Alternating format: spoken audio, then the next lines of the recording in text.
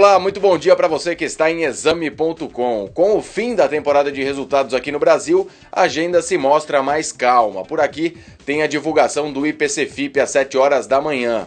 O índice de preços ao consumidor é referente à segunda quadricemana de agosto. O índice que mede a inflação da cidade de São Paulo registrou alta de 0,13% em julho. Às 11 horas da manhã, horário de Brasília, a Universidade de Michigan revela um indicador que mede a confiança dos consumidores americanos na economia no mês de agosto. Lembrando que em julho a confiança veio acima do esperado, registrando 72,3 pontos.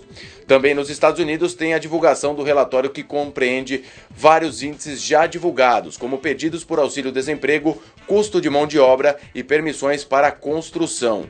O índice é referente ao mês de julho e faz um resumo sobre a atual situação da economia americana. Divulgação prevista para as 11 horas da manhã. Para mais informações, você já sabe, continue aqui em exame.com.